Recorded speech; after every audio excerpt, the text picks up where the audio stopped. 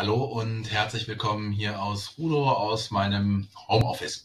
Ja, spezielle Zeiten, die entsprechende Maßnahmen erfordern. Wie gesagt, ich arbeite hier aus dem Homeoffice, um entsprechend meine Mitmenschen da auch zu schützen und so wenig Kontakt zu äh, anderen Personen zu haben.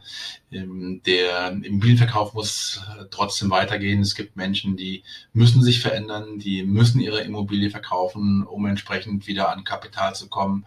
Andere Menschen, die entsprechend auch Wohnungen oder, oder Häuser suchen zum, zum Anmieten. Insofern ähm, ja, sind wir da auch ein wichtiger Partner, um das Ganze entsprechend äh, da auch abzuschließen.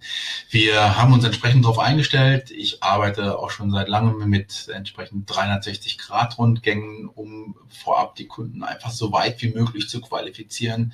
Ähm, Videocalls sind kein Problem. Auch das klassische E-Mail-Telefon brauche ich gar nichts von zu sprechen, ist jetzt auch wieder äh, noch mehr im, im Einsatz als der persönliche Kontakt. Insofern versuche ich die Kunden einfach so weit wie möglich vorzuqualifizieren. Ich zeige gerne mal ein Beispiel, wie das Ganze auch mit 360 Grad Rundgängen hier funktioniert. Insofern wird ein schöner Grundriss erstellt. Dann kann man in dem Grundriss äh, entsprechend auch entsprechende Punkte angeben, bewegt sich dann äh, virtuell in dem entsprechenden Objekt, um da einfach schon einen guten Eindruck von der Immobilie vorab zu bekommen.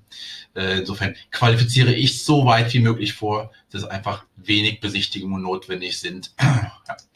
Die Besichtigungen werden weiterhin durchgeführt. Das sind entsprechend Einzelbesichtigungen, die ich dort mache mit entsprechenden Abständen. Die Hygienevorschriften werden entsprechend eingehalten und besonders betont. Und insofern versuche ich meinen Beitrag dazu zu leisten, dass A, ähm, das Coronavirus so wenig wie möglich Verbreitung findet, B, aber trotzdem in irgendeiner Form die Geschäfte stattfinden, die stattfinden müssen. Ähm, mit dem Notar habe ich auch gesprochen. Notartermine finden natürlich weiterhin statt.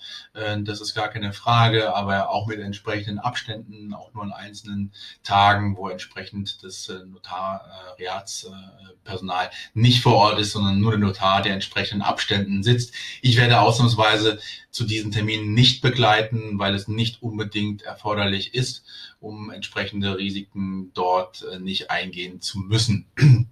Ja, insofern, die ganze Infrastruktur steht weiterhin. Wir sind darauf vorbereitet. Ich freue mich drauf, wenn wir weiterhin in Kontakt bleiben und Sie mir treu bleiben. Herzliche Grüße hier aus Rudo, Ihr Daniel Wissen.